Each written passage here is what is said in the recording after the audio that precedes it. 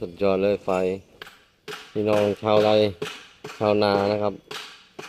นำเอาไปใช้ได้นะครับ ดูการทำดูทรงแล้วมันไม่น่าจะยากนะครับทำง่ายเนี่ยโดยใช้เหล็กกองสองสองท่อนเชื่อมต่อกันนะครับสามท่อนแล้วก็ใส่เหล็กเส้น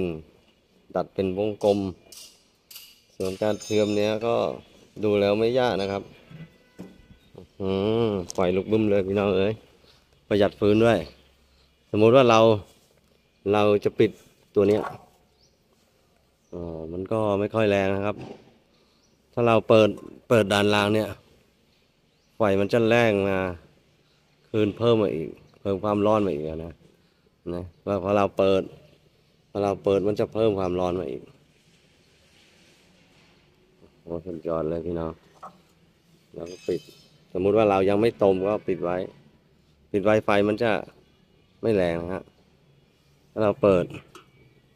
อ่าเปิดพอเราเปิดแบบเนี้ยไฟมันก็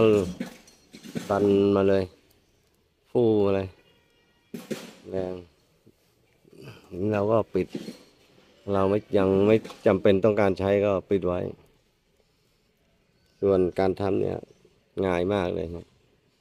ไม้ก็ใช้ไม้หนาซ้ำอันเดียวนะครับใช้ไม้หนาซ้ำอันเดียวแล้วถ้าถ้าพี่น้องท่านใดสะดวกก็ แตกมันเป็นกองสามชิ้นเลยยิ่งไปยิ่งลุกดีนะครับสำหรับคลิปนี้ก็จบแค่นี้นะครับ